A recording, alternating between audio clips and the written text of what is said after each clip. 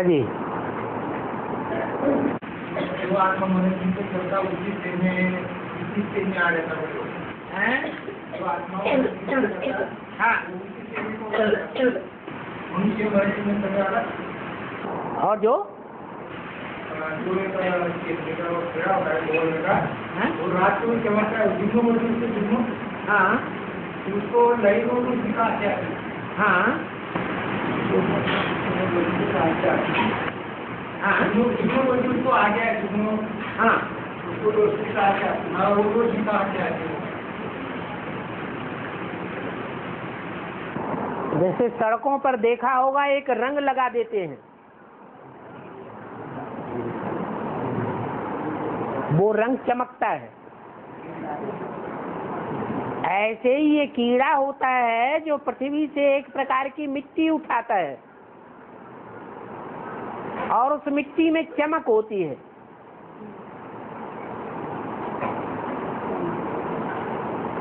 जब पर्दा उघाड़ता है, उड़ते हुए तो चमकता है।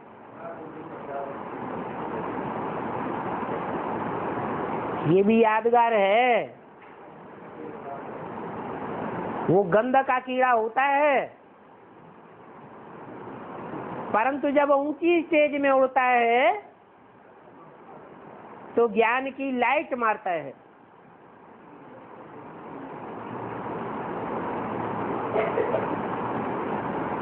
ये सारे ही मिसाल जो चौरासी लाख योनियों में मनुष्य का जन्म बताया गया है वो किसके मिसाल हैं?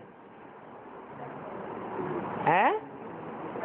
मनुष्य कोई चौरासी लाख जन्म नहीं लेता है, लेकिन चौरासी लाख योनियों जैसे कर्म करता है। तो जुगनू का भी मिसाल है। और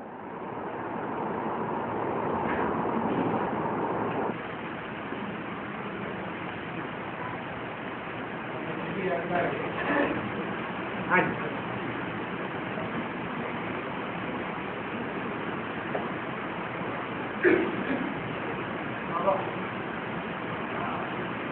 बारा बारा वो वो करके जब साकार ब्रह्मावाने थी है साकार गुण में बाबा साकार ब्रह्मावाने थी जब साकार ब्रह्मावाने होती हाँ। अव्यक्तवाणी कहा जाता है उसको अव्यक्त अव्यक्तवाणी कहा जाता है जी ब्रह्मा बाबा ने साकार शरीर छोड़ दिया और अव्यक्त शरीर धारण कर लिया है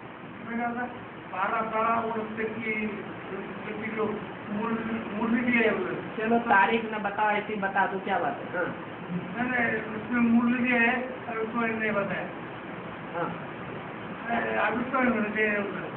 हैं? लिखना चाहिए ना हाँ उनको बता मालूम नहीं है ना, वो तो ये समझते हैं। कि गुलजार दादी में भगवान आता है। अगर ये न समझें और दूसरों को न समझाएँ तो उनका धंधा ही चौपट हो जाएगा। क्योंकि भगवान से लेना देना है सारी दुनिया को। सारी दुनिया व्यक्तियों को नहीं मानेगी। ब्रह्मा को तो भगवान मानेगी ही नहीं।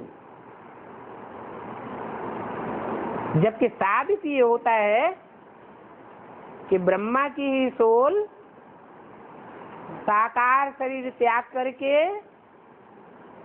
अव्यक्त शरीर धारण करती है और उस अव्यक्त सूक्ष्म शरीर से गुलजार दादी में प्रवेश होकर के वाणी चलाती है। इसलिए अव्यक्त वाणी कहना चाहिए। लेकिन अज्ञानता के कारण जो भक्त लोग हैं, वो भगवान की वाणी में और मनुष्यों की वाणी में अंतर नहीं कर पाते हैं। मनुष्यों को ही भगवान कहने लग पड़ते हैं। शुरुआत कहाँ से होती है? कौन से मनुष्य से शुरुआत होती है? हैं? ब्रह्मा से ही शुरुआत होती है। तो पहला मनुष्य गुरु कौन हुआ? ब्रह्मा बाबा।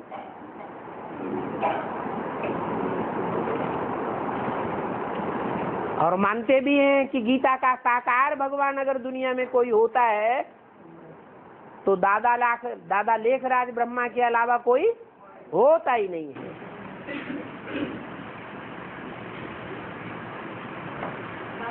बाबा कह रहे अभी सच्ची सेवा चल रही है। अफ्रीका में सच्चा सच्ची सेवा चल रही है। हाँ जी हाँ हैं? बाबा का सच्चा परिचय नहीं है। बाबा का सच्चा परिचय भले न हो। लेकिन जितना भी उन्होंने सुना है, उस सुने हुए ज्ञान को वो प्योरिटी के आधार पर समझा रहे हैं या इम्प्योरिटी के आधार पर समझाने वाले हैं? प्योरिटी के आधार पर समझाने वाले हैं। इसलिए जो अच्छी चीज़ होती है, उसको अच्छा पात्र चाहिए। समझाने वाला भी अच्छा चाहिए। नहीं तो रावण का ज्ञान हो जाता है। क्या? क्या रावण का ज्ञान हो जाता है? सुनते हैं, सुनाते हैं। लेकिन जो सुनते हैं, सुनाते हैं, उसका तंत्र पवित्र बनो और योगी बनो, ये जीवन में धारणा दिखाई नहीं देती है। बुद्धि इधर उधर भागती रहती है। मन चंचल बना रहता है। मन बुद्धि मिट्टी में लगी रहती है। देह देह के संबंधियों, देह के पदार्थों में रमण करती रहती है। तो सच्चा ज्ञान होगा या झूठा ज्ञान होगा? झूठा हो जाएगा।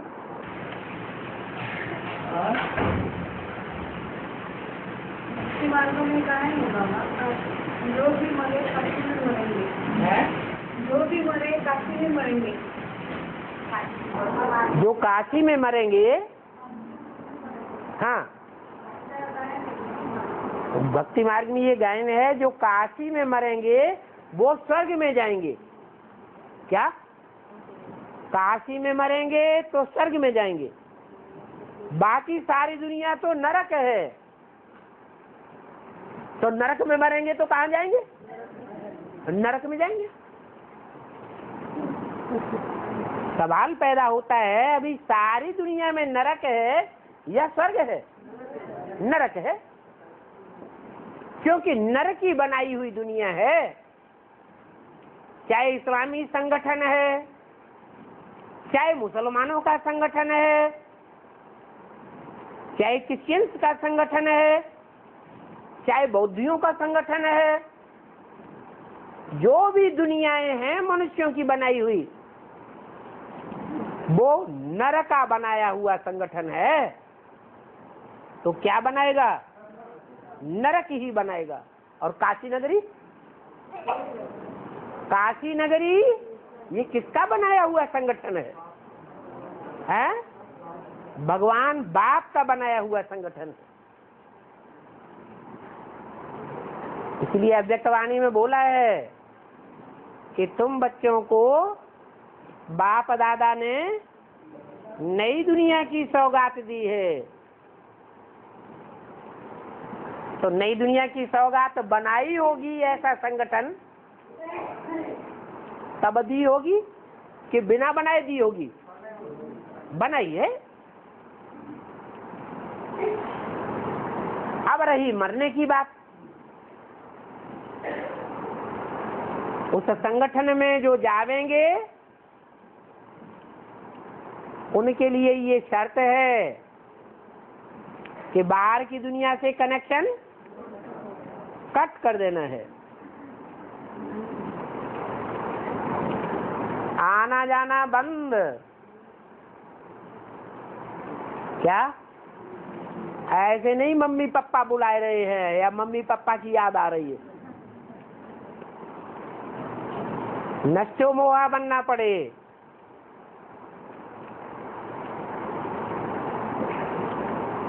बाहर की दुनिया भूल जाए।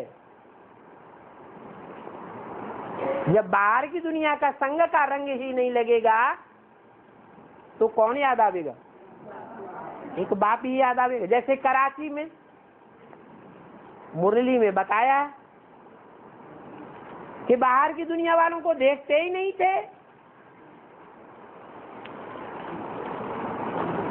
तो जब देखते ही नहीं थे, एक बाप को ही देखते थे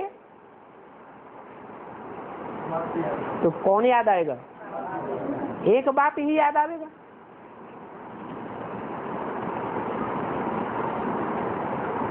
तो काशी में मरना, अर्थात देह के संबंधों से मर जाना और देह के पदार्थों से भी मर जाना। क्योंकि बाहर की दुनिया में रहेंगे तो अम्मा बाप कुछ न कुछ लड्डू पेड़ा भेजते रहते हैं। बच्ची को सा, साड़ी भेज रहे हैं, ब्लाउज भेज रहे प्यार दिखाते रहते हैं।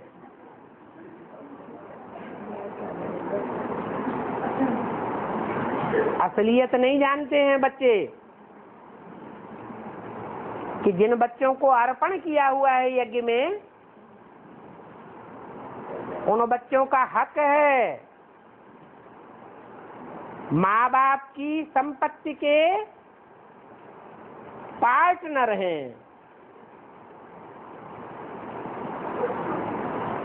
थोड़े थोड़े से ब्लाउज कपड़े देते रहेंगे। साबुन देते रहेंगे। टूथ ब्रश दे देंगे।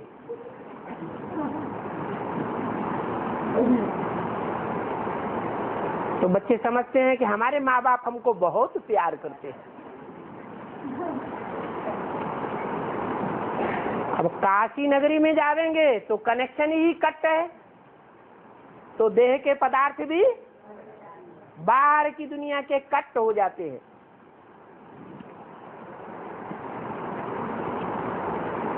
ईश्वरीय परिवार में जो सबको मिलेगा, वो उनको मिलेगा। तो देह के संबंधों से मरना, देह के पदार्थों से मरना, अर्थात जो काशी में जाकर के मरते हैं, वो ही कहाँ जाते हैं? वो ही स्वर्ग में जाते हैं। बाप की तो इस नरक की दुनिया में आग लगेगी।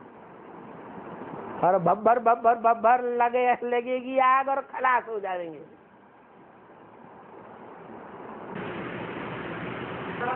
हाँ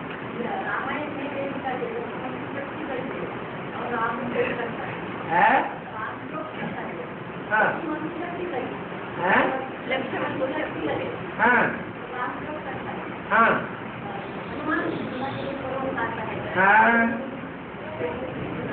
है। है जी। हाँ।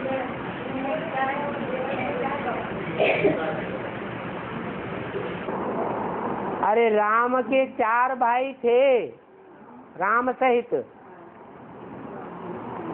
तो उन चार भाइयों में दो तो विधर्मी हैं। विदेशी हैं, पक्के। जैसे कि पक्के रावण संप्रदाय हैं। उनकी बात तो छोड़ दो।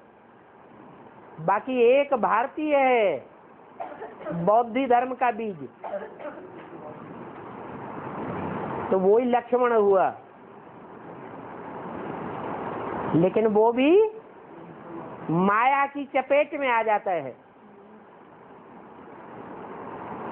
उसको भी माया धराशायी कर देती है। जब वो माया धराशायी करती है तो हनुमान मिसल जो पुरुषार्थ करते हैं ऊँची स्टेज में उड़ने का, वो ऊँची स्टेज में उड़ करके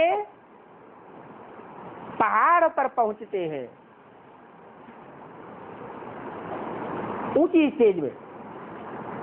और ऊँची स्टेज में उनको मनन चिंतन मंथन करके नए नए ज्ञान के पॉइंट जिसे संजीवनी बूटी कहा जाता है, मिल जाते हैं। तो ये सब गायन है। वर्तमान ब्राह्मणों की संगम युगी दुनिया के।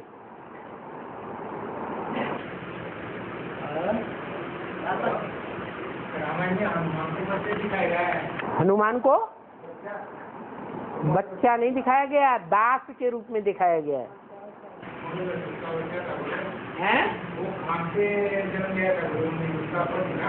हैं? क्या है? हनुमान जो होता है ना तो आकाश लोग। हाँ? तो को निकलता है ना? वो आया था खेत दिया उन्होंने समुद्र मगर ने जी लिया बोले और उसको मगर जन्म लिया बोले। इसका साथ हो? जाए बाबा ने बोला, शास्त्रों में, आटे में नमक मिसल सच्चाई है। जो सच्ची बात है, वो शास्त्रों की मैं बताता हूँ। तो तुम टीवी देख देख करके ये सारा माथा खराब करते रहोगे? तो मिलेगा कुछ भी नहीं। इसलिए मुरली में जो बाबा ने भक्ति मार्ग की बातें उठाई है और उन भक्ति मार्ग की बातों की तरफ़ इशारा दिया है। उन पर मनन चिंतन मंथन चलना चाहिए। अथवा जो क्लैरिफिकेशन दिए हैं, उन क्लैरिफिकेशन में, समझाने में जो जो भक्ति मार्ग की बातें उठाई गई हैं, उनमें इशारे दिए गए हैं, उन पर मनन चिंतन मंथन करना चाहिए। बाकी तो बता दिया। कि माया रूपी मगरमच्छ है? मुरली में भले बताया है कि तुम बच्चे रामायण, भागवत, महाभारत, इन ग्रंथों से जो भी कथा कहानियाँ आई हैं, उस ज्ञान को टैली कर सकते हो। ये नहीं कहा टैली करो। कोई विद्वता निकालना चाहे अपनी, ये टैली करता रहे। कम से कम पाप कर्मों से तो बचा रहेगा। बाकी तो याद में ज़्यादा फ़ायदा है। या शास्त्र में जो बातें आई हैं, उन सारी बातों को ब्राह्मणों की दुनिया से टैली करते रहने में ज़्यादा फ़ायदा है। याद में ज़्यादा फ़ायदा है। और? में ना ऐसे चंदन की बारिश होती है और सूखा पड़ता ना वैसी बारिश होती है चौदस के दिन ही होती। कहाँ? है क्यों है? मुक्तागिरी कहाँ पर है मुक्तागिरी अमरावती के पास में आता। है भरतवाड़ा के पास। अमरावती के पास में भरतवाड़ा। के पास मुक्तागिरी है। हाँ, पहाड़ ऊपर केसर की बरसात होती है तो वो डूबा नहीं पड़ता क्या वैसी पड़ती है। मुक्ता डूबा कोहरा पड़ता है? हाँ पैसा पड़ता है। तो कोहरे की तरह सावन महीने में धीमी धीमी बरसात होती है। यहाँ है ना चौदह के दीदी है? के अगले दिन और पूनम के अगले अच्छा?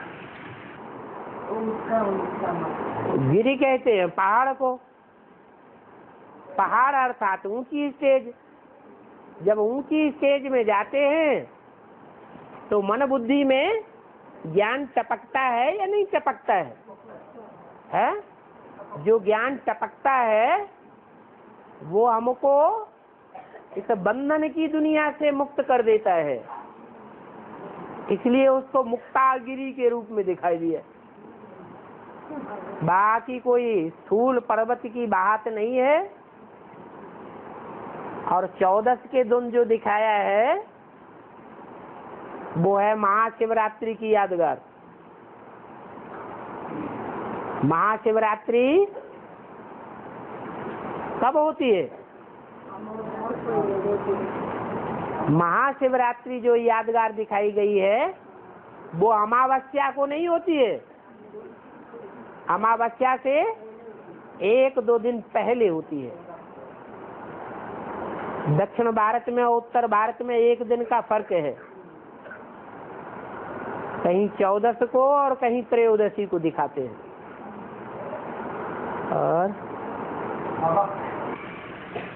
को मत करो। आदम नहीं।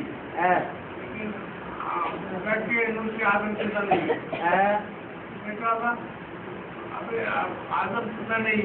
एक मुझे आया लेकिन जब जो बाबा के माँ के बच्चे बनते उनके तो आदम अरे खुदा का मतलब है जो खुद आए बुलाने पर न आए। तो एक है सुप्रीम सोल शिव। वो खुद आता है। तिरसठ जन्म बुलाते रहे तो नहीं आता है। और जिसमें आता है, वो क्या खुद आता है?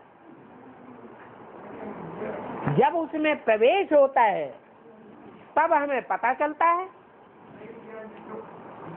तो इससे साबित हुआ कि जिसमें प्रवेश करता है, वो कोई खुदा नहीं है। वो खुद अपने को प्रत्यक्ष नहीं करता। उसको प्रत्यक्ष करने वाला कौन है? हैं? शिव भगवान है। इसलिए उन्होंने फिकरा बनाई दिया। आदम को खुदा मत कहो। आदम खुदा नहीं, लेकिन खुदा के नूर से आदम जुदा नहीं। माने चौरासी जन्म भल लेती है मनुष्य आत्मा उनमें जो हीरो पार्टधारी है, वो हीरो पार्टधारी आत्मा शिव बाप की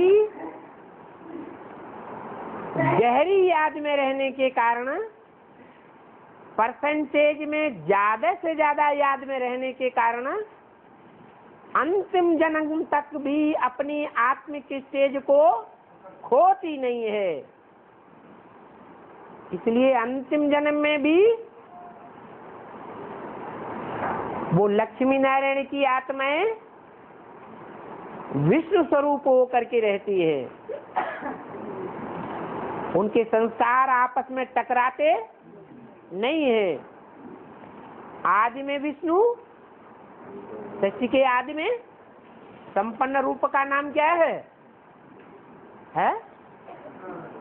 लक्ष्मी नारायण माना विष्णु।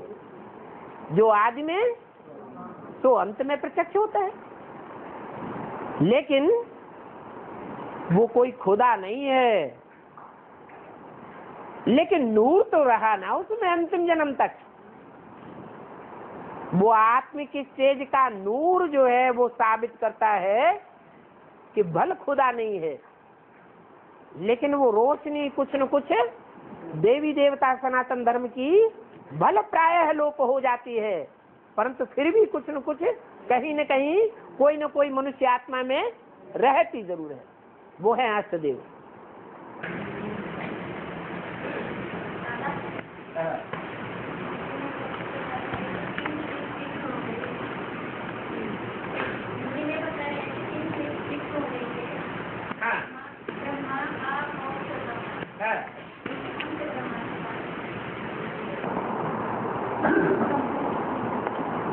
ठीक कहा जाता है कुर्सी को।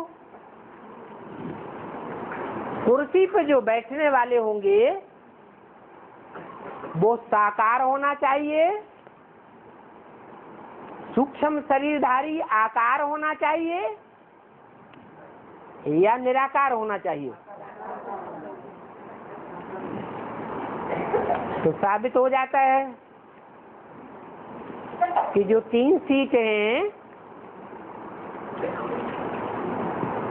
जो तैतीस करोड़ देवताओं के बीच में सर्वोपरि मानी जाती है। माने तैतीस करोड़ देवताओं को तीन ग्रुप में बांटा गया है। एक ग्रुप भारतीय संप्रदाय में कहा जाता है शैव संप्रदाय। दूसरा ग्रुप कहा जाता है वैष्णव संप्रदाय। और तीसरा ग्रुप कहा जाता है ब्रह्म समाजी। इन तीनों ग्रुप के जो मुखिया हैं, उनका नाम दिया है ब्रह्मा, विष्णु और शंकर। ब्रह्मा के रूप में पार्ट बजाने वाली आत्मा एक है, या अनेक है। हा? माता ने पूछा, उसी को जवाब दे दो। हाँ। एक ही है। ब्रह्मा के चार पाँच मुख क्यों दिखाए जाते हैं? अगर एक है तो चार पाँच मुख नहीं होना चाहिए। है? चार पाँच मुख दिखाए जाते हैं, तब कहा जाता है ब्रह्मा सो विष्णु। इसका मतलब जो ब्रह्मा के रूप में पार्ट बजाने वाली आत्माएँ हैं वो ही पुरुषार्थ जब संपन्न होता है तो विष्णु की चार भुजाओं के रूप में प्रत्यक्ष हो जाती है। उन चारों के स्वभाव संस्कार मिलकर के एक हो जाते हैं। तो वो चार भुजाएँ विष्णु की जो दिखाई गई है वो चैतन्य भुजाएँ हैं या जड़ भुजाओं की बात है, है? चैतन्य भुजाएँ हैं। और वो चारों ही चैतन्य भुजाएँ पहले ब्रह्मा के रूप में अधूरा पार्ट बजाने वाली है। इसलिए ब्रह्मा की पूजा नहीं होती है। ब्रह्मा के मंदिर नहीं बनते हैं। ब्रह्मा की मूर्तियाँ नहीं बनती है। तो वो चारों ही आत्माएँ यज्ञ के आदि में मौजूद थे। जिनके लिए मुरली में बोला है कि वास्तव में इन ब्रह्मा सरस्वती को भी मम्मा बाबा नहीं कहेंगे। क्यों? क्योंकि इनको भी पढ़ाई पढ़ाने वाले डायरेक्शन देने वाले, ध्यान में जाने वाले, कोई और आत्माएँ थी यज्ञ के आदि में, जो मम्मा बाबा को भी डायरेक्शन देती थी। तो चार वो हो गई। मम्मा बाबा और उनको डायरेक्शन देने वाले दो और और एक हो गई जगदम्बा। क्या? जगदम्बा। तो पाँच आत्माएँ हुई ब्रह्मा के रूप में। इसलिए ब्रह्मा का एक नाम पंचानन भी है। आनंद माने मुख। पाँच मुख वाला। मुख है तो मुख किस बात की यादगार है? गूँगे की यादगार है क्या? है? काय की यादगार है। कुछ बोला होगा ना तो बोलने की यादगार है मुख। वो चार आत्माओं ने कुछ न कुछ मुख से बोला है। उसमें ब्रह्मा अर्थात कृष्ण की सोल भी है, राम की आत्मा भी है, उन दोनों की सहयोगिनी शक्तियाँ भी हैं। राम की सहयोगी शक्ति, सीता और कृष्ण की सहयोगी शक्ति, राधा। और फिर जगदम्बा भी है। जगदम्बा को बेटी कहते हैं। जगदम्बा पुत्री है ना? तो बेटी है। ब्रह्मा की बेटी का नाम है जगदम्बा। तो ये चार आत्माएँ हुई, पाँच आत्माएँ हुई। उनमें एक आत्मा उसके लिए गायन है कि उसका मुख काट दिया गया। तो जब मुख भंजन कर दिया तो देवान कट गया या रह गया? ब्रह्मा है तो देहवान है। ब्रह्मा मृत्यु लोक में गाया जाता है। मृत्युलोक में ब्रह्मा सौ वर्ष का होने पर शरीर छोड़ता है तो अमरलोक में जन्म लेगा। तो मृत्युलोक में ब्रह्मा गाया हुआ है, वो पाँचों आत्माएँ यज्ञ के आदि में मृत्युलोक में थी। मृत्यु लोक में थी तो ज़रूर मृत्यु होगी या नहीं होगी? पाँचों की मृत्यु हुई। तो वो ब्रह्मा हुए। मृत्यु होने के बाद जन्म होगा या नहीं होगा? जन्म भी होता है। ब्राह्मणों का पुरुषार्थ कभी व्यर्थ नहीं जाता। तो जन्म होता है, फिर पुरुषार्थ करते हैं तो अमरत्व को प्राप्त करते हैं। अमर अर्थात देवता बन जाते हैं। देवताओं में मुख्य देवता है विष्णु। तो उन पाँचों में जो दो आत्माएँ हैं, वो तो शरीर छोड़ देती है। जो शरीर ही छोड़ गई, वो पुरुषार्थ की दौड़ में, जैसे कुर्सी दौड़ होती है ना, उनको कुर्सी मिलती है। कहेंगे कुर्सी लेंगे, हैं? उनका शरीर ही नहीं है तो कुर्सी पे बैठेंगे कैसे? तो बाकी रह गई तीन। वो तैतीस करोड़ देवताओं के बीच में जो सर्वोपरि कुर्सियाँ हैं, उनके अधिकारी बनते हैं। एक है वैष्णवी देवी, एक है जगदम्बा, और एक है बाप। इन तीन के लिए बोला है, तीन सीट फिक्स हो गई है। ब्रह्मा बाप और जगदम्बा। ब्रह्मा का अर्थ लगा लेते हैं, दादा लेखराज ब्रह्मा। वास्तव में दादा लेखराज ब्रह्मा को असली ब्रह्मा नहीं कहेंगे। किसे कहेंगे? जगदम्बा को असली कहेंगे। अगर जगदम्बा असली ब्रह्मा है तो ब्रह्मा तो विष्णु बनने वालों में जगदम्बा नारी से लक्ष्मी बननी चाहिए या नहीं बननी चाहिए? है? बनती है? नहीं बनती है। इसलिए जगदम्बा फ़र्स्ट क्लास ब्रह्मा तो फ़र्स्ट क्लास विष्णु नहीं है। कौन है? नहीं। प्रजापिता आदि में जो प्रजापिता है नेक्स्ट टू गॉड कहा जाता है, वो दूसरा जन्म लेकर के शंकर बनता है। बनता है ना? तो जो शंकर बनता है, वो अकेले स्वर्ग स्थापन कर पाता है? हैं? अरे काशी नगरी तो बनाई।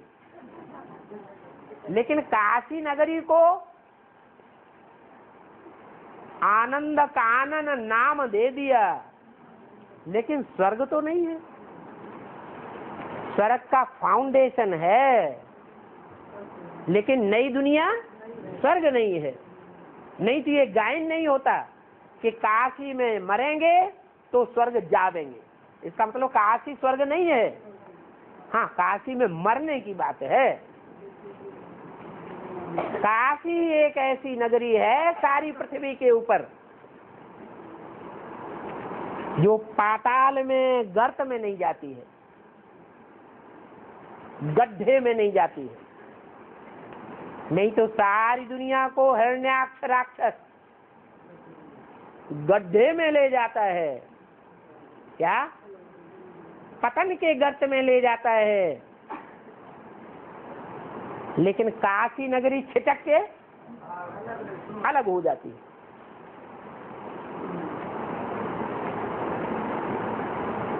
तो बाहरी दुनिया का वाइब्रेशन और काशी नगरी का वाइब्रेशन अंतर होगा या नहीं होगा? अंतर ज़रूर होता है।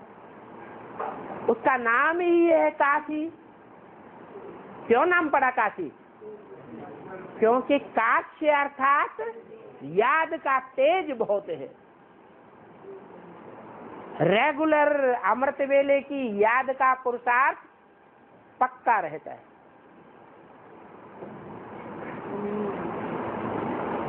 किसी और मिनी मधुबन में कोई ने देखा हो तो बताओ।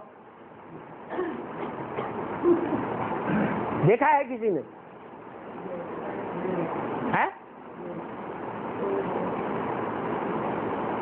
नहीं देखा। तो जब याद का पुरुषार्थ पक्का नहीं है तो काक्ष अर्थात याद का तेज भी नहीं है।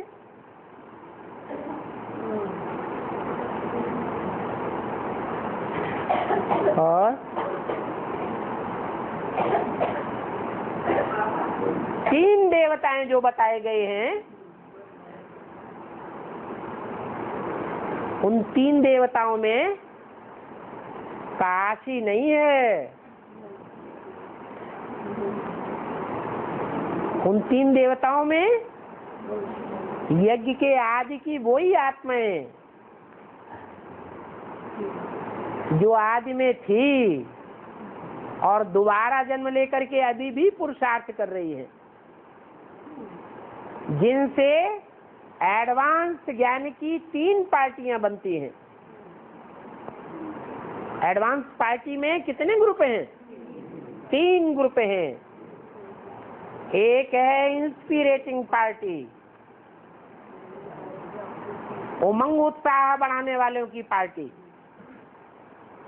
अर्थात, जो ब्रह्मा सरस्वती जैसी आत्माएँ शरीर छोड़ गई है, वो शरीर छोड़ करके जाने वाली आत्माएँ जब कोई में प्रवेश करती हैं और एडवांस ज्ञान सुनती हैं तो खूब उमंग उत्साह बढ़ाती है। ईश्वरीय सेवा में लगाने का पुरुषार्थ कराती है। जैसे बाबा कहते हैं कि बच्चे तो तमो प्रधान हो गए हैं। तमो प्रधान बच्चे ईश्वरीय सेवा नहीं कर सकते। कौन करते हैं सेवा? बाप दादा सेवा करते। तो मम्मा बाबा की आत्माएँ अभी भी बच्चों में प्रवेश करके ईश्वरीय सेवा का कार्य कर रही है। वो है इंस्पिरेटिंग पार्टी बल उनको शरीर नहीं है।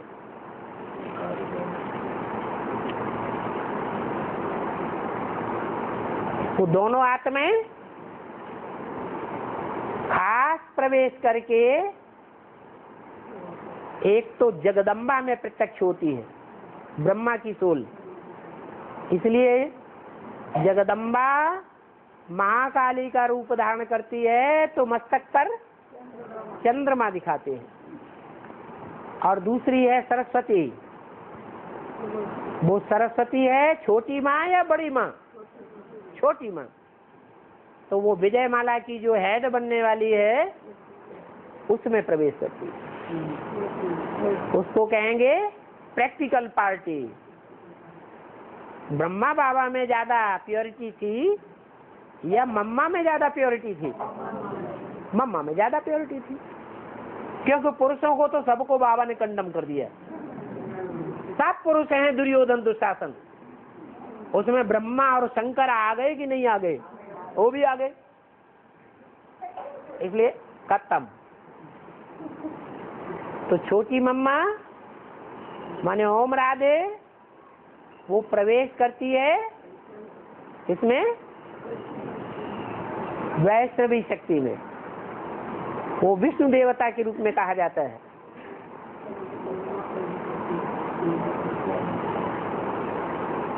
तो तीन आत्माएँ हैं जो इस समय शरीरधारी हैं। एक है राम की आत्मा। एक है जगदम्बा की आत्मा। शरीर सहित है। और फिर तीसरी है वैष्णवी देवी। इन तीन के लिए बोला है, तीन सीट फिक्स हुई है।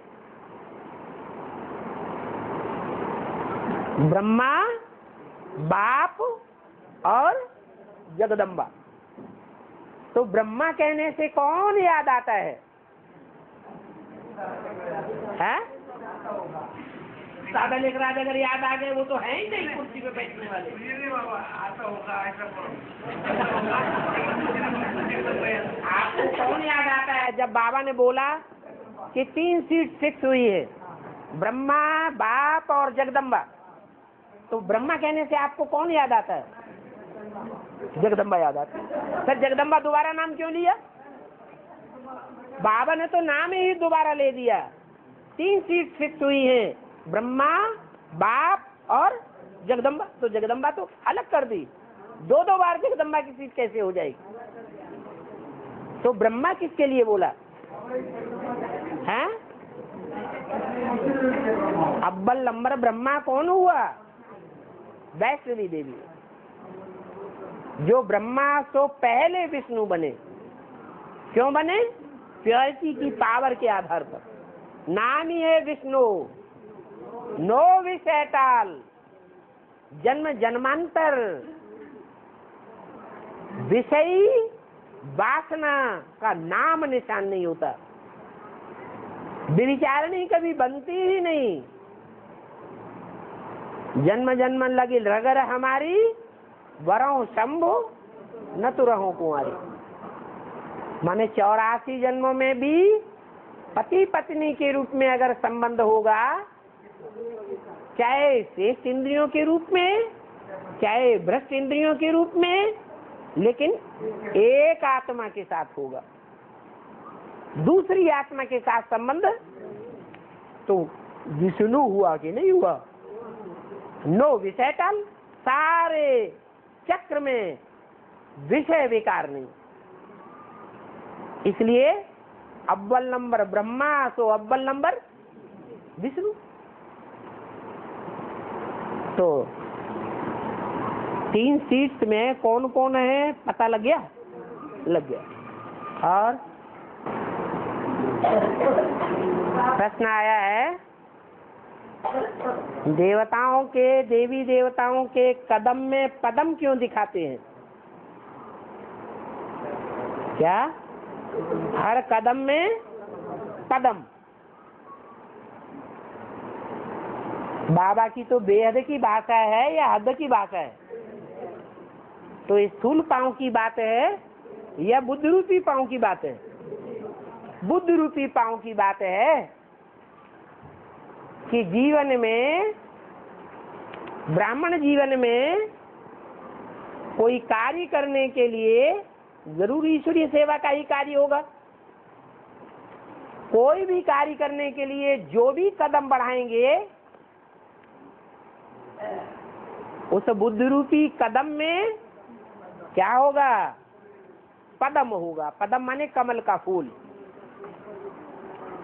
माना उस कर्म में आसक्त होने का नाम निशान नहीं होता है।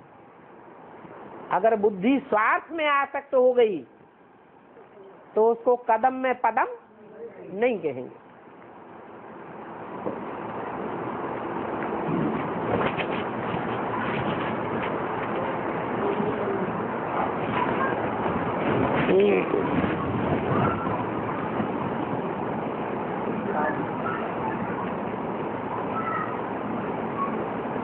बाबा।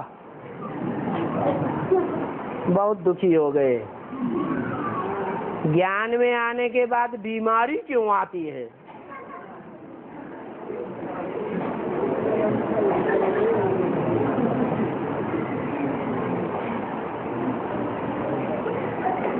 अरे दो हैं परीक्षाएँ लेने वाले परीक्षक।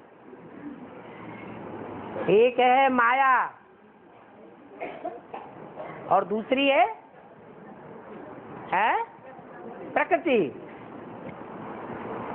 तो ये शरीर प्रकृति के पाँच तत्वों का बना हुआ है। और ये चौरासी के चक्र का अंतिम चोला है। अंतिम जन्म का। तो तिरसठ जन्म जो पाप किए हैं उन पापों का जन्म बाई जन्म जो रोलिंग होता आया है, वो कौन से जन्म में जाके गिरेगा? आखिरी जन्म में जाके गिरता है। तो इस आखिरी जन्म में जो शरीर के पाँच प्रकृति के तत्व हैं, वो भी परीक्षा लेते हैं। परीक्षा लेना माने बीमारियाँ आती ज़रूर है। इसलिए बोला है कि तुम्हारे शरीर सड़ते जावेंगे और सड़े हुए शरीरों से भी तुम ईश्वरीय सेवा का काम लेते जावेंगे। बूढ़ियों के लिए बोला है, जो बूढ़ी बूढ़ी माताएँ हैं, उनको सेवा के पंख लग जावेंगे।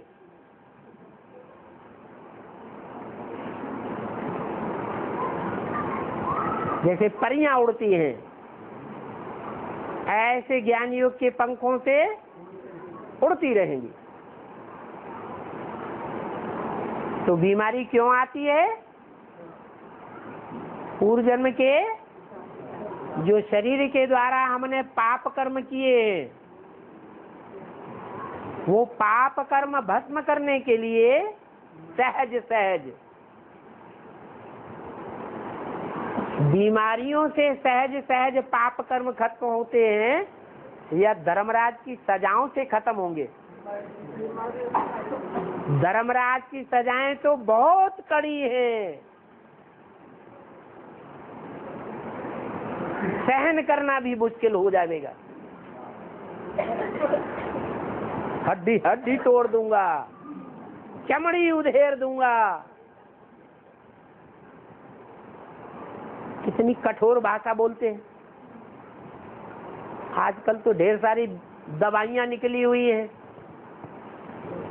निकली हैं कि नहीं? गोली खाओ, दर्द? खत्म। ऑपरेशन होने जा रहा है, इंजेक्शन लगाया, सुन्न पड़ गया। काट पीट के सारा अलग कर दिया। टाँके लगाए ज्यो का त्यों रख दिया, फिर गोलियाँ खाते रहो। कोई तकलीफ़ हुई? तो धर्मराज की सजाएँ आसमान का दुख है। हाँ ये तो कुछ भी नहीं है।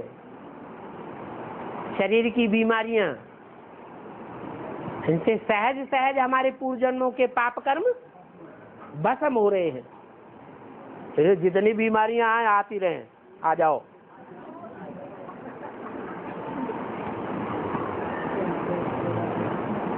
और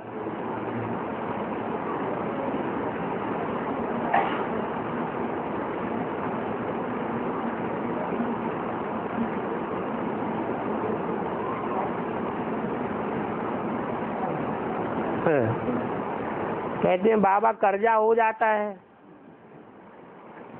बाल बच्चों की, परिवार की पालना करने में कर्जा हो जाता है। कभी काम चलता है, कभी काम नहीं चलता है। तो जब काम नहीं चलता है तो पा, बच्चों की परवरिश के लिए कर्जा लेना पड़ता है। बात तो सही है। धंधा धोरी कभी चलता है और कभी नहीं चलता है। ये झूठों की दुनिया है। झूठों की दुनिया में जो झूठा धंधा करते हैं वो तो लखपति, करोड़पति, अरबपति बनते रहते हैं। और जो सच्चाई से धंधा करते हैं, वो तो घाटे में आ जाते हैं।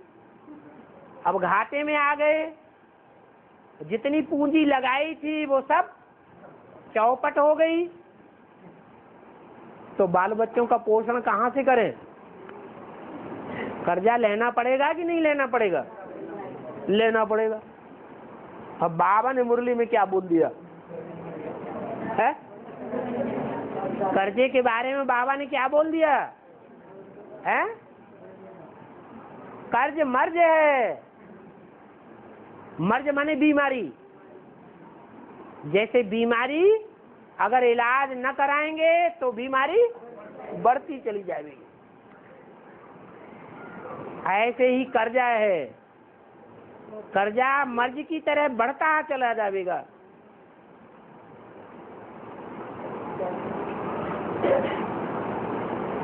तो क्या करें? ऐसी परिस्थिति में सवाल किया, क्या करें? अब बाबा ने तो बता दिया। क्या बताया? नहीं बता दिया। बाबा ने क्या करें, इसका जवाब नहीं दे दिया। दे दिया कि नहीं दे दिया? नहीं दे दिया। दे दिया। क्या दे दिया? है?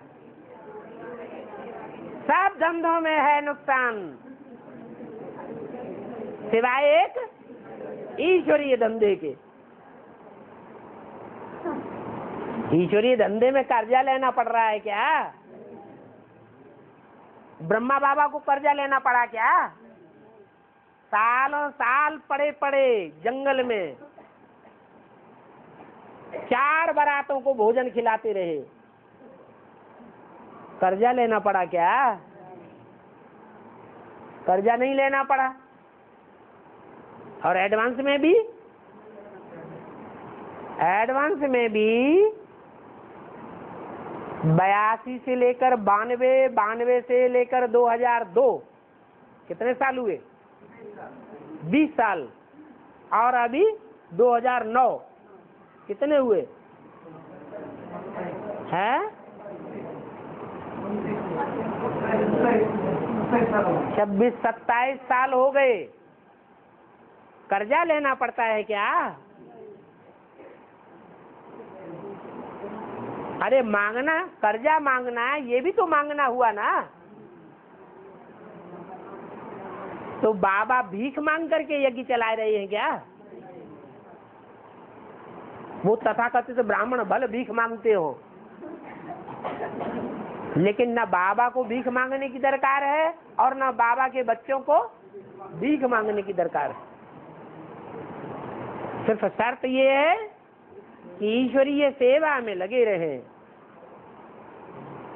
फिर शिव का भंडारा भरपूर, काल कंटक दूर। चाहे अकाल पड़े, चाहे दुनिया में दुकाल पड़े, लेकिन शर्त ये रखी है, न बहुत अच्छा खाना है, न बहुत खराब खाना है। न बहुत अच्छा पहनना है, न बहुत खराब पहनना न बहुत महलमानिया अटारियों, बढ़िया मकान में रहना है, और न बहुत नाले के किनारे वाली झोपड़ी में रहना है। सादा मिलेगा, उसमें घाटा होने वाला नहीं है। तो ईश्वरीय धंधे में कर्जा नहीं लेना पड़ता है।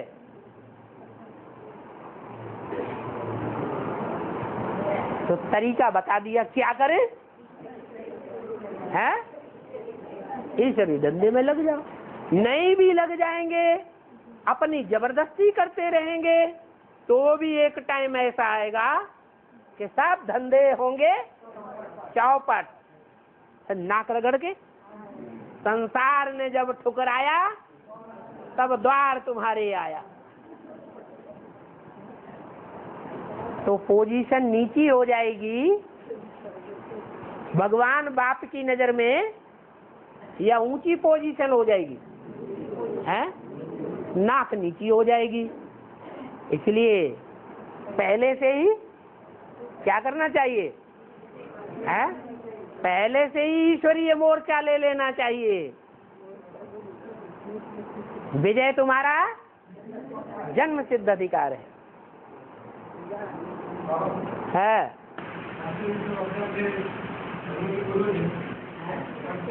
हाँ। अपने अपने धर्म के पूर्वज हैं। हाँ ये बताया अष्टदेव जो हैं वो पक्के सूर्यवंशी भी हैं। और वो सारी दुनिया के पूर्वज भी हैं। है? यज्ञ के आदि में पहले पहले किसने जन्म लिया? है? तीन ग्रुप हैं, पुरुषार्थ करने वालों के। एक है शैव संप्रदाय, एक है वैष्णव संप्रदाय और एक है ब्रह्म समाजी। इनमें सबसे ऊँचा ग्रुप कौन सा है? है? कौन सा है? शैव संप्रदाय। जो ज्ञान सूर्य का संप्रदाय है, वो सबसे ऊँचा संप्रदाय है। तो स्थापना पहले किसकी होगी? या किसकी हुई होगी? है? सूर्यवंशी ही पहले रचे गए होंगे। मैं आता हूँ तो मैं आकर के सबसे पहले सूर्य को ज्ञान देता हूँ। तो ज्ञान सूर्य का रूप कोई हुआ या नहीं हुआ? हुआ। उस ज्ञान सूर्य के आसपास चक्कर काटने वाले कितने ग्रह होते हैं? आठ, नौ ग्रह प्रसिद्ध हैं। उनमें नौवा जो है, उसकी वैल्यू नहीं है। बाकी आठ की वैल्यू है। तो वो आठ ही अष्टदेव के रूप में गाए हुए हैं। वो आठों ही सूर्यवंशी हैं। हाँ। वो जन्म जन्मांतर ज्ञान सूर्य का पार्ट बजाने वाली जो हीरो पार्टधारी आत्मा है, उसके सहयोगी बनकर रहते हैं। लेकिन अंतिम जन्म में तो माया किसी को नहीं छोड़ती। तो अंतिम जन्म में जाकर के वो उसी धर्म में गिरते हैं, जिस धर्म के लोग उसको स्पेशल अपना पूर्वज मानते हैं। आया समझ में? हाँ। है? बीज रूप में तो है। अरे, माला से अलग है। 108 की माला रुद्र माला बीज रूप की माला है। या आधार मूर्ति की है। बीज की है। और? है? है एक है कि किस बात का? ऐसा देखो, क्या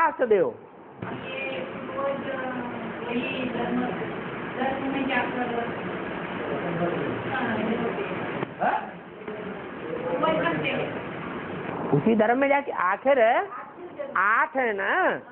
तो आठ नंबरवार होंगे, क्या एक जैसे होंगे? और धर्म भी नंबरवार हैं, या सभी धर्म एक जैसे हैं? तो जो जिस नंबर का देवता है, वो उसी नंबर के धर्म में जाकर के गिरता है। और वो धर्म वाले उसको अपना पूर्वज समझ लेते हैं। बाकी तो वो हर धर्म के पूर्वज हैं। ऐसे नहीं कि आखिरी जन्म में जिस धर्म में जाके वो आत्माएँ गिरती हैं, उसी के पूर्वज हैं।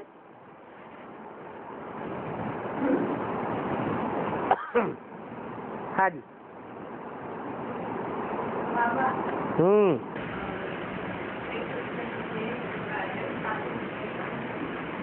एक हमारी आत्मा चेतक जल में राजाई शुरू होती है चेतक जल में हाँ राजाई शुरू होती है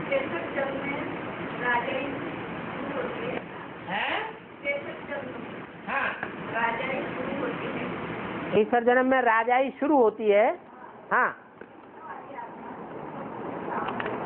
कृष्ण वाली आत्मा?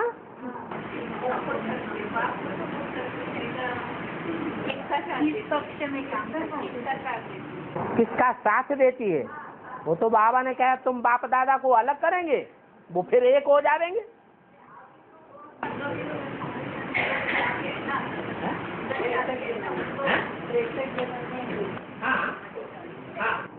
तिरसठ जन्म में ही तो अलग करते हैं। बच्चे जो हैं, वो बाप दादा को 21 जन्म में अलग करते हैं या तिरसठ जन्म में अलग करते हैं? तिरसठ जन्म में ही अलग करते हैं। हाँ। तो पूछ क्या रहे हैं? कृष्ण वाली आत्मा किस पक्ष में काम करती है? कृष्ण वाली आत्मा कृष्ण पक्ष में खास काम करती है। अरे कृष्ण वाली आत्मा होगी तो कृष्ण पक्ष में काम करेगी या सूर्य पक्ष में काम काम करेगी? कृष्ण पक्ष में काम करती है।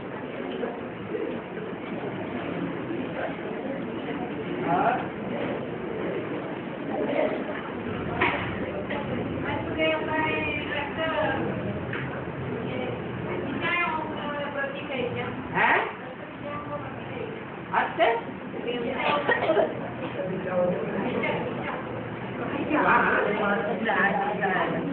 पूरब पश्चिम, उत्तर, दक्षिण। चार दिशाएँ हैं। पूरब पश्चिम, उत्तर, दक्षिण। और इनके चार कोने हैं। ईशान कोण, वगैरह वगैरह। तो आठ दिशाएँ हो गई। आठ ही दुनिया में धर्मखंड फैले हुए हैं। उन धर्म खंडों में आखिरी जन्म में गिरने वाले वो आठ ही देवताएँ हैं।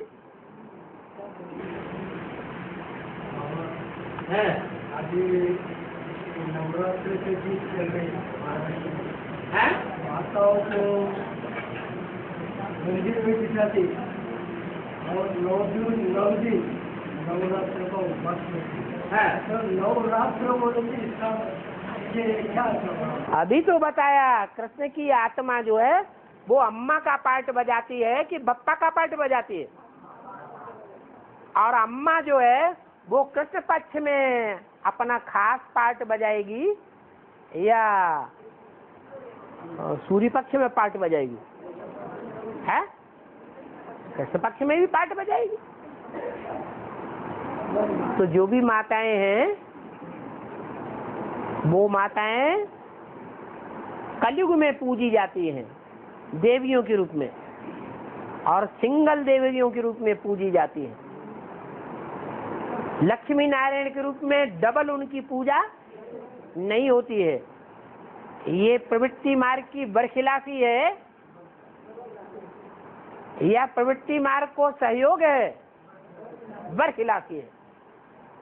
रावण राज्य है निवृत्ति मार्ग।